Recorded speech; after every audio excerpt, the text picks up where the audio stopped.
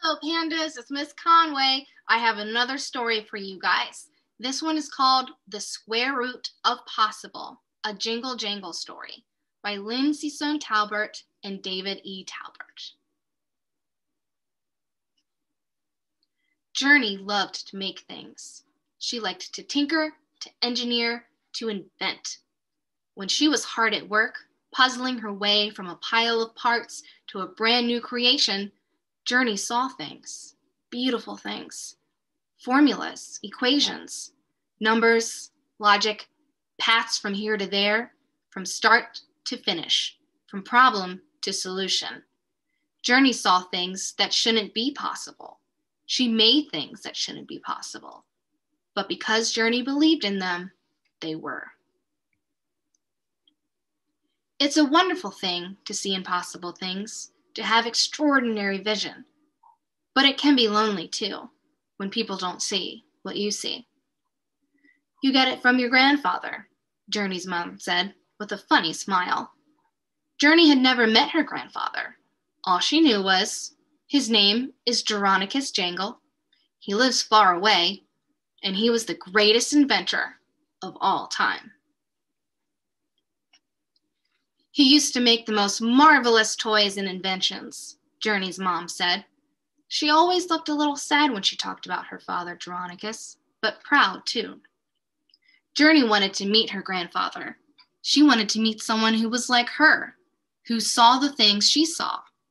She wanted to work side by side with the great inventor, Jeronicus Jangle. And so Journey set off to Cobbleton.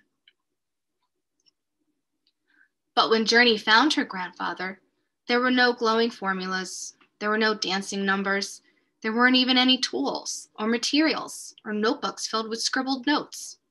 There was just a grouchy old man who didn't seem very happy to see Journey. This was a problem for sure, but Journey loved problems. Finding the solution was always so satisfying. Jeronicus Jangle had lost his jingle, and Journey was going to help him get it back. Journey's grouchy grandfather was poking at something interesting. It didn't look like it was going so well, so Journey decided to help. She scribbled a glowing formula into the air words and numbers, truth and magic, time, chance, belief. You can see that? Her grandfather said. Can't you? asked Journey. Her grandfather looked glum. No, he said, not anymore. Journey stayed up late that night, thinking about the square root of possible. There was a variable missing from her grandfather's life. His crankiness had been multiplied by boredom, which was bad enough. But the long division of lonely, that was the real problem. What Jeronicus Jangle was missing was fun. Fun would balance that equation. Fun canceled out bitterness. Fun subtracted sadness. In the morning, a fresh coat of snow blanketed Cobbleton. It was beautiful. And more than that, Journey happened to know what snow added up to. Journey knew just what she needed to do. Splat! Her snowball socked Jeronicus right on the head. Journey giggled. Bullseye. For one terrible moment, Jeronicus Jangle looked grouchier than ever. Come on, Journey thought. The square root of possible and the fourth snowball theorem dictates an equal and opposite reaction. So react. And then he began scribbling furiously in the snow. At first, the symbols only glowed faintly, but as Journey's grandfather built a fearsome new formula, the letters and numbers began to burn in the air.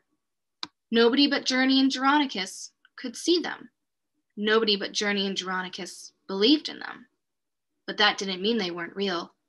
They were the realest thing ever. Powered by their pure math of mischief, the snowball whizzed through the crowd. It swerved around corners. It hopped over lampposts. Journey dodged and ducked, but the snowball had a vision. Splat! Journey had never been so happy to get a face full of snow in her life. It was the most magnificent mathematical snowball fight Cobbleton had ever seen. And the best part of it all was that her square root of possible theorem worked.